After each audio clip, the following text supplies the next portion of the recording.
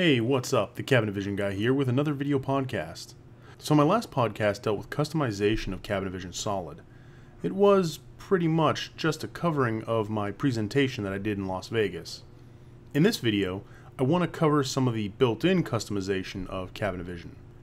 We've already covered parts, materials, material schedules, and things like that, but what we haven't covered is layer styles. These can be used to change how Cabinet Vision looks, at least in the work area. So let's get started on this. As we can see, I have my layer style set to Sample Architectural. If I click on the drop-down, I have three styles available to choose from, Standard, Shop, and of course, Sample Architectural. Each of these three styles can have drastic changes on how things like dimension lines, door swings, and cabinet outlines appear to us, as well as how they are sent to our drawings page. To edit these, as well as create new ones and delete old ones, I just need to click on the Layers button here to bring up the Layer Schedule dialog. This list contains all of the available schedules to choose from. As I add or remove items from this list, that combo box that we can choose from will be updated to include the new items. If we make any changes that we don't like or mess something up, we can just click the cancel button to get out of here. Once we're done though, we can click OK to finish this off and update that combo box. Let's add a new schedule to the list so that I don't have to mess with anything that shipped with Cabinet Vision. Now that we have a new schedule there, we can edit it by either double clicking on it or making sure it's highlighted and then clicking on the edit button. This brought up our view layers dialog. This dialog allows us to edit the layers uh, for each area of Cabinet Vision, from the general layout to assembly views to part views and really everything else. The list on the left here lets us select what set of layers we want to edit.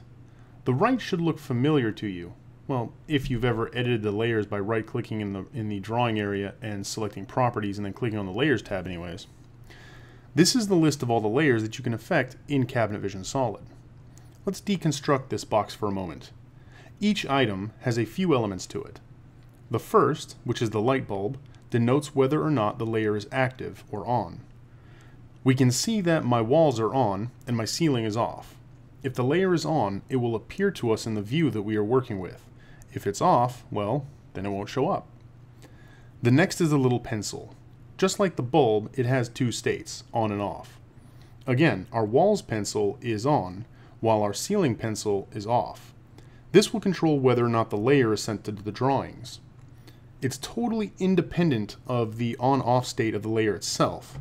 So we could have a layer that is off that still sends to drawings. This is great for engineering, to get things out of the way to work with, and still making sure that it makes it to the drawings so that they're accurate. Next we have this colored box. An item will have the color that is shown here when it is viewed. If you notice, my walls have a blue box, and my walls in the drawing area are blue. If I click on the square, Cabinet Vision then allows me to select from one of the preset colors available. Now we get to the line type element.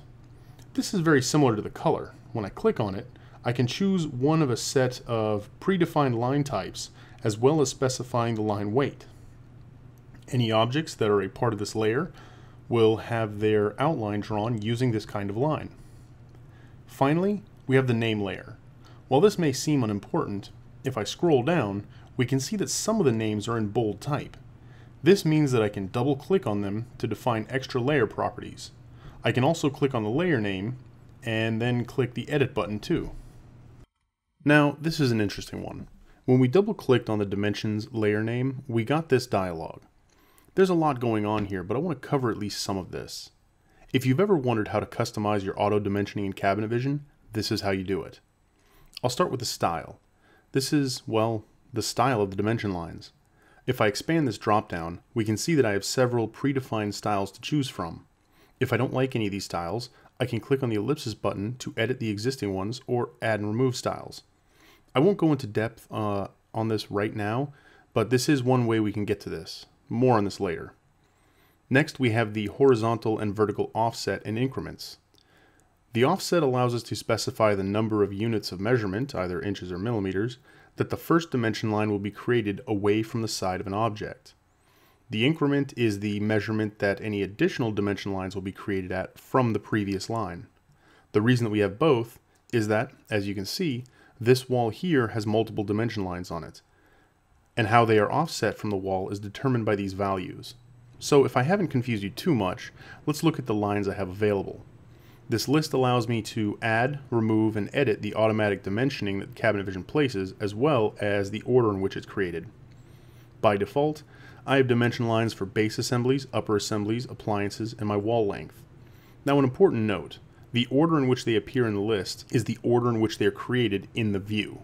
Let's edit the base assemblies line to see how this works. So we can see that we can set the name of the dimension line as well as the type. Our three types are wall, wall end, and island countertop, at least for this view. These are predefined by Cabinet Vision and are unchangeable. Other views will have different options. Next, we have the objects. You can see that some of them are checked and some of them are not. Obviously, any items that are checked will appear to us as dimension lines, while any items that are not checked, well, they won't be there. Let's cancel out of this and create a sample dimension line for us to play around with.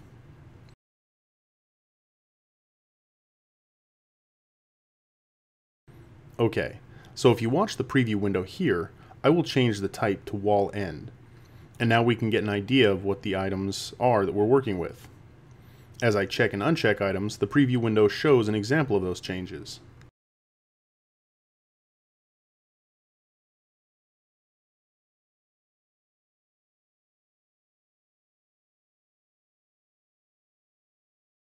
Finally, we get to the force dimension line option. This is kind of a weird thing. Not because it's there, but because, well, what does it do? Simply put, it forces a dimension line to be drawn regardless of whether or not it's needed. For example, let's say you had countertop back and countertop front checked. Then let's say you didn't have a top. Cabinet Vision will, by default, not want to draw this line. By selecting Force Dimension Line, you can tell Cabinet Vision to draw it anyways. So that's pretty much it for the dimension lines. I don't know what stack dimensions is for, and I couldn't find it in the help files, and I couldn't get it to do anything. So I'm assuming there's a little bit of logic that needs to be done to make it enable. Uh, I'll find out what that is, and let you guys know as soon as I find out. Now before I close this out, remember, you can create any number of dimension line combos and offset them as you like. Before we close out of this, let's click on the Advanced button to see what that's all about. Now, again, each view from floor plan to elevation to 3D and so on will have different advanced options. Basically, these allow us to specify certain advanced features that are specific to this view. The big one that most everyone needs to know about, at least I think so, is the force drawing to black. This means that no matter what color your layers are defined as, when you send the view to drawings, they will change in color to black. Check for overlapped lines and check for intersecting surfaces will make Cabinet Vision attempt to eliminate any lines and surfaces that don't need to be there for your drawing. Be careful when using these two options though, as they can cause Cabinet Vision to take a very, very long time to send to drawings, based on how many items you have in the drawing of course. Now, we also have some options that allow us to view the assembly outlines only. Basically, this is the difference between all of our parts showing up in the work area, or just simple squares to represent them. If we have the assembly outlines only checked, then we can specify how we want our door swings to appear as well. Top it off, we can specify show only the, well, top outlines as well. Background color is pretty self-explanatory, but I think curve tessellation is not. What is curve tessellation and how does one show this? Well, a curve tessellation is basically a line representation of a curve. When you show a curve's tessellation, you're wanting to use lines between the start and ends of the curve so that it can be more easily recognized that there's a curve there. Some people like to show that, some people don't, and this is just how you can specify that. As I said before, each view is going to have its very own set of advanced options. That's why a lot of these are grayed out. You can play around uh, with them to get the end result that you want from your drawings. Now that we have that done, let's look at those dimension styles we glanced over earlier.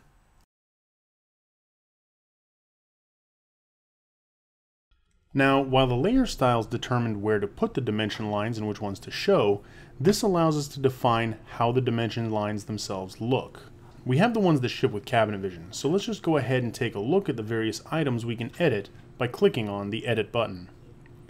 Okay, as usual, we have a preview window here on the left, and on the right we have the properties that we can set that deal with how the dimensions look.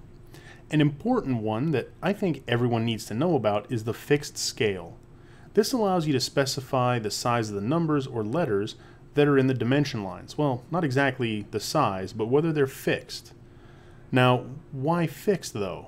Well, if the scale is not fixed, then it will scale with whatever the scale of the drawing is, say 1 half inch equals 1, and so on and so forth. If it's fixed, however, it will be the size that's specified no matter what. As we scroll down, we can see that there are plenty of options for us to choose from, allowing to change up the lines and the arrows, and how the text is displayed, as well as how it fits in the lines. And that's pretty much it. I'm not going to go over all these options because there are a ton of them, and it's going to take a lot of time. So we'll get out of here, and you can see we can copy whatever style that's already here and edit it to suit our needs. We can also create new ones, and as we just did, edit existing ones. The last thing before we finish this up though, if you don't want to look at all of the layer schedules at once like we did earlier, you can edit them individually. Basically, all you have to do is right click in the work area and select properties. Then you find the layers tab, and there you have it. Each view will have their own layer setup that you can do this with, whether it's the floor plan, elevation, assembly editor, even reports have a set of layers to mess around with.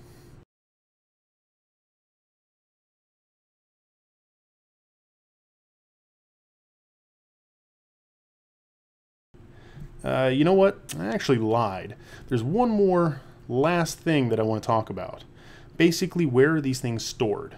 Well, all of the settings are stored in a special file called the default.dat.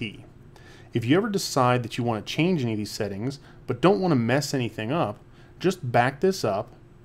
And uh, if you mess anything up or can't figure out what you did originally, just put the backup right back in the folder, and Bob's your uncle, it's back the way it was.